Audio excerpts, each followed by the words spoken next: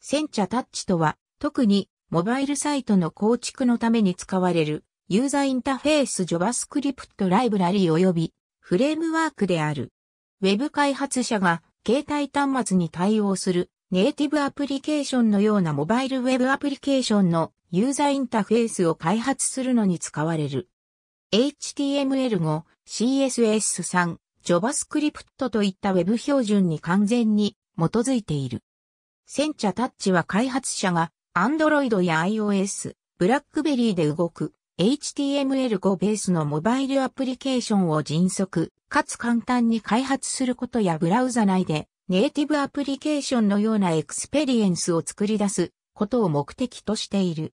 センチャタッチは X と JS、弱中値、ラフィールで構成される後に人気を得た JavaScript ライブラリーの Sencha の一製品だった。2010年7月17日にセンチャタッチの初版であるバージョン0.90ベータが公開された。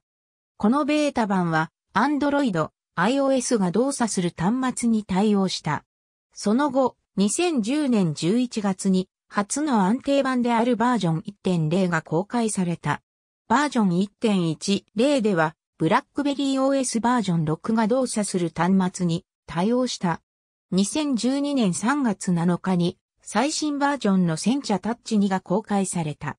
これは Android、Google Chrome for Android、RIM ブラックベリーブラウザー、バダモバイルブラウザー、Kindle Fire ブラウザー、Safari といった WebKit 使用ブラウザーで動作するように設計されている。センチャは Windows Phone のバージョンに X シリーズに対応する意向を表明したが、Firefox モバイルに対応する計画はない。センチャタッチには、モバイルアプリケーション内で使用されるグラフィカルユーザーインターフェース型コントロールのセットが含まれている。これらのコンポーネントはタッチ入力に最適化されている。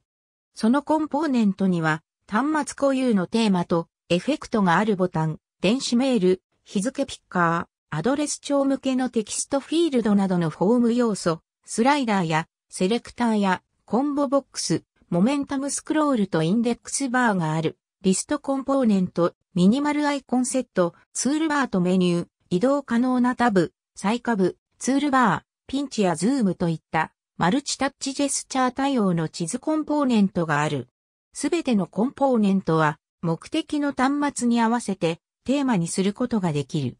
これは Sass という CSS 上で構築されたスタイルシート言語で使用され実行される。 Sencha Touch には、原要素の上下スライド、ポップ、フリップ、キューブといった4つの内蔵トランジションエフェクトがあり、ウェブ標準だが、Android や iOS、その他タッチジェスチャーが可能な端末にしか対応していないタッチイベントで構築された共通のタッチジェスチャーに対応している。携帯端末におけるネイティブアプリケーションはカメラ、コンパス、マイクロフォンといった端末の内蔵機器にアクセスできるが、センチャタッチはフォーンギャップといったネイティブシェルを使用してアクセスできる。モバイルブラウザや端末はモバイルウェブアプリケーションが使用できるように API や Web サコット、GPS、加速度計といった新しい規格にフル対応する形で進化したように、センチャタッチも特別に GPS をサポートしている。